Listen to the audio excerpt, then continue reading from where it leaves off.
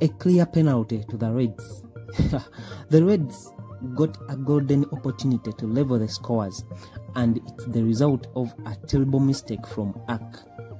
Yeah, Aké. The defender plays a dreadful back pass towards Ederson, and Nunez gets it first before going down under the goalkeeper's challenge. Oliver didn't waste any single minute in pointing to the spot.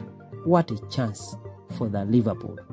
And in this incident, Ederson was booked for his challenge, and what is more, seems to have come off worse as he received the treatment from the city medical staff.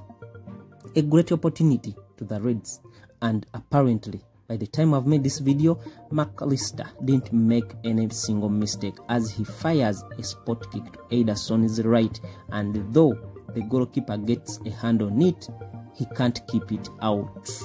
Game on 1 1 nil. To Arsenal side, I think this is what they are hoping and this is what they are praying.